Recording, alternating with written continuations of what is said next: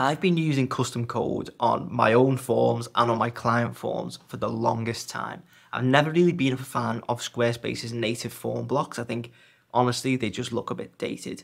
One thing that they've just rolled out is form block design packs. So basically, we have four different design options, or it's not so much options because we can customize them, but more so four different avenues that we can go down. And basically what this allows us to do is have way more customization options for our forms. So this video is just going to go through what the four options are and then how we can go one further and then customize every single element of those forms until we get something that we're really happy with and we want to publish on our website. So anyway, let's get into it. This is going to be a deep dive into customizing your forms on Squarespace. So first off, we want to see, okay, where are we going to put our forms? So I'm going to create a contact page for this. Go to page layouts, hit contact, and we'll just say, I'll grab this. So now we've got our contact page, hit edit, and we can see, to be honest, Squarespace's standard forms don't look that great.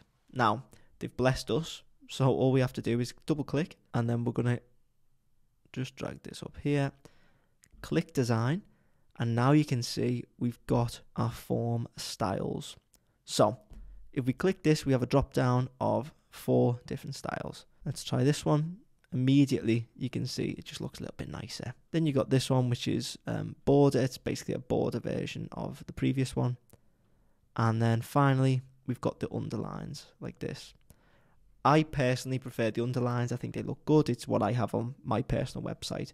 And actually, I coded that way, way, way before Squarespace actually rolled out the native stuff. So what I need to do is probably move it over to this native style so I don't have to have so much code on my website. But basically, you can see immediately the difference.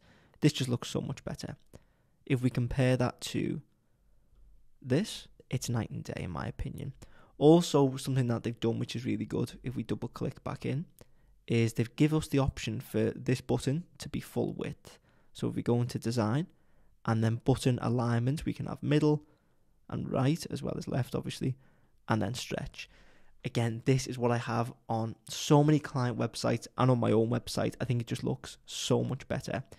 If everything else is full width, maybe except for these, but if everything else is full width, why wouldn't your button be full width? If you think about it like this, uh, well, not think about it, but if you look at it, that left alignment, it just looks crap. Let's be honest. You know, you compare that to everything else, it's not even the same width as this. If it was the same width as this, maybe I could forgive it, but realistically, we want that to be full width. So click on that, and then I'm going to make it underline, and immediately our form looks a million times better. You can also change a few more things around, so you can change the button style between primary, secondary, and tertiary. Obviously, this is just a template site, so this hasn't been changed much. If we go back in, we've got a couple more things. So, obviously, as usual, we can do lightbox and then we can stick a background on as well.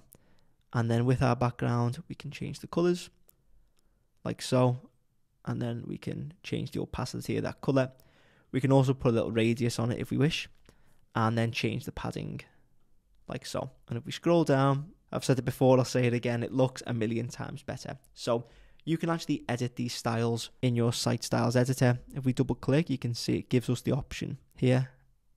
It says edit form styles, and then we can change basically everything about them. So I'm going to move me. You can see the field shape, can be changed that you can make completely bespoke uh, form packs here. It's much like the color palette packs. You can see you can change the borders like this. You can change the thickness. So if you want to go crazy, you can put 10px. Maybe let's just do 4.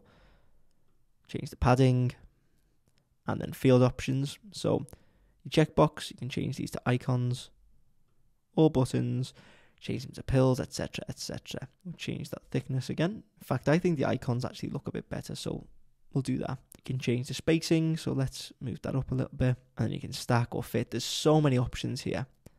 We go back out the field options because you can get lost in there for days. Fonts, again, you can apply fonts to every single section of this. So what I used to have to do quite a lot for clients was I would have to use custom code to target basically every single part of this and say, okay, change the font of the input for instance, change the font of the input, for instance, or change the font of the first and last name. You can do all of that here, which is absolutely amazing. And then you can do the same with colors. You can see you can apply all the colors to all the sections, and then down here you can change the spacing as well. I'm not going to bore you because you can literally just change all these sliders, but that is how you customize your forms. When you're happy, just hit exit and then you can see it's done. Obviously, you've got complete creative freedom with this. You can go wild, but that's the basics. Honestly, for the most part, if you're feeling lazy, just use the form packs. But if you want to go super granular, which I do understand, then you can go into site styles up here, go into forms, and you can fiddle about to your heart's content. If you found that useful, please make sure to leave a like and hit subscribe. And if you want me to build your Squarespace website, you can get in touch using the links in the description.